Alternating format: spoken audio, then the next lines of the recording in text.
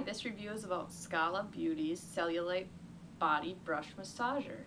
This is the box that comes in. Super cute. It kind of gives directions. I mean, it's a rubber cellulite scrubber with a nubby surface.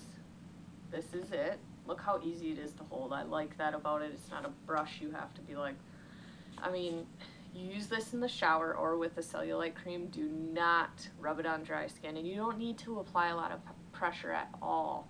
This is just meant to stimulate your skin, tighten, tone, and firm it, and rub away, kind of like rub out the fat pockets. It's like a massager. And after about 30 days, you're gonna see a difference. It does take a while.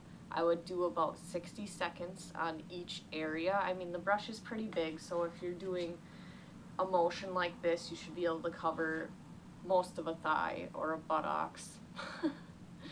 and that's where my problem areas are is my butt and my thighs and I am super excited for this because I have had a problem with cellulite. I think a lot of people do.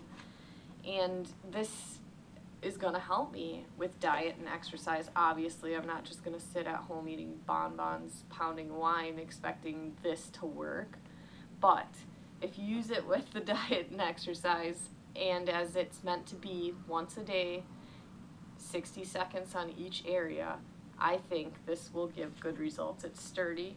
This part can come off. My son was using it and I was like, oh my god, but it twists right back on. I'm not going to deal with that right now. Well made. I would recommend it because it's easy to clean. It's not like one of those bristle brushes that could get gross, I think. I don't know if you use lotion with those, but this is great, easy to clean. You can just leave it in your shower.